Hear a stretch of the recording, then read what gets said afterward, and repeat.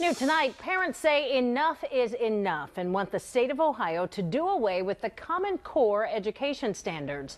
ABC 6's Tara Morgan with steps being taken to get legislators to listen. Tara?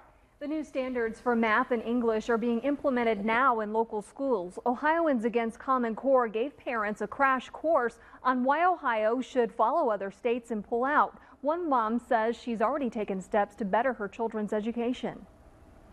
We don't like what's going on in our children's schools, but we feel like our voices are not being heard. Sarah Lewis opted her three children out of state assessments, believing the tests do more harm than good. I don't like the amount of um, instruction time that the tests are taking away. Our kids are constantly taking the tests, they're practicing taking the tests. And my question is, when are they learning? Lewis and other parents packed the Capitol Theater for Common Core 101. They're a set of guidelines for schools to get kids in K through 12 ready for college. But speakers say the standards fall short of a true education. In both English and in math, the Common Core was, was of lower quality. They, they ignored the evidence from the best states and countries.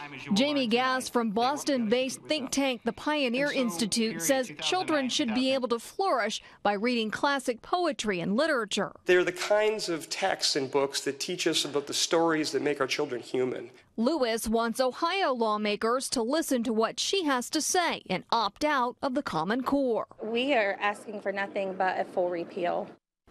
Indiana has already pulled away from the Common Core. There is legislation here in Ohio to repeal the same academic standards. The Common Core does have support of the Board of Education as well as the chairs of the House and Senate Education Committees. Tara Morgan, ABC 6 News.